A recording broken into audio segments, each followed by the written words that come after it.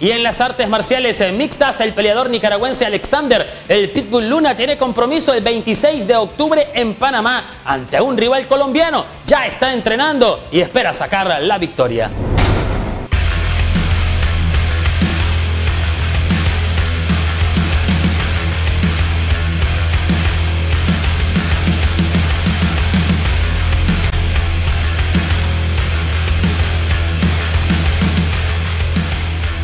Alexander el Pitbull Luna tiene entre sus venas la sangre de un guerrero y cuando está dentro del octágono lo demuestra con creces. Este próximo 26 de octubre en Panamá podrá de nuevo exponer su calidad cuando se mida al colombiano Esteban Gómez. El combate se realizará en el evento UCC 42.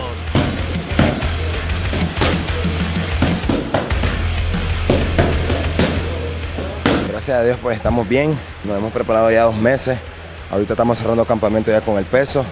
Eh, ya el lunes finalizamos lo último, viene el maestro Suqueto de Brasil, de Jiu-Jitsu y, y ya vamos listos para la pelea.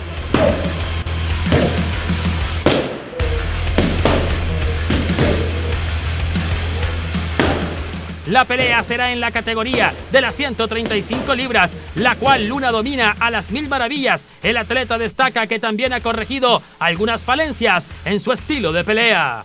Siempre seguimos mejorando los errores, eh, las debilidades. Una de las debilidades que he tenido en el piso, pero ya las hemos mejorado un poquito más. Vamos a ver qué trae este muchacho. Yo creo que no va a haber round de estudio. Creo que vamos, él es, él es striking, yo soy striking, vamos a ver quién cae.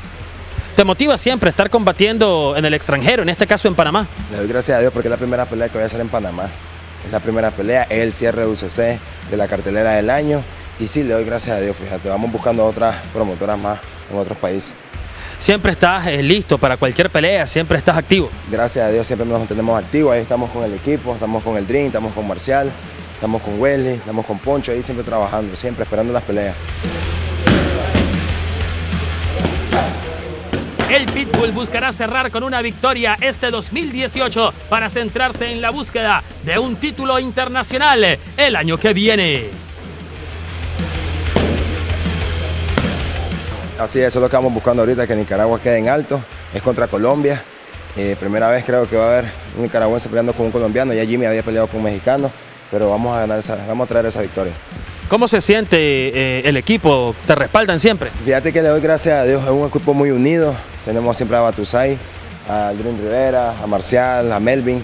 A pesar de todo, pues siempre somos los mismos, seguimos mejorando, seguimos aprendiendo y siempre en la misma casa, siempre en el mismo lugar. ¿Quién estará en tu esquina para ese combate? Eh, estará Wesley y Poncho. ¿Confías obviamente en la estrategia? Sí, gracias a Dios llevamos confiada, vamos bien confiados en la estrategia. Tengo que escuchar mi esquina, el plan de trabajo que llevamos y ver qué, qué, qué pasa.